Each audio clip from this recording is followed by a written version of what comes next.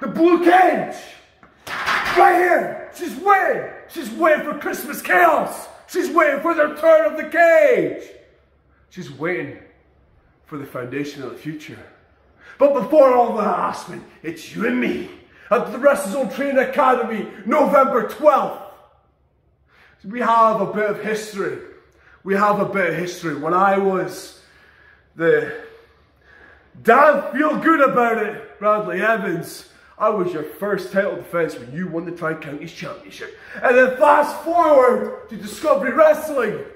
Earlier on this year, we wrestled, I beat you.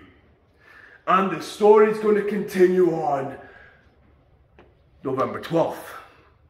And then, when it's said and done, Aspen, whose hand is getting raised? Bruiser's hand's getting raised. I will see you in Aspen. You better be ready for me again.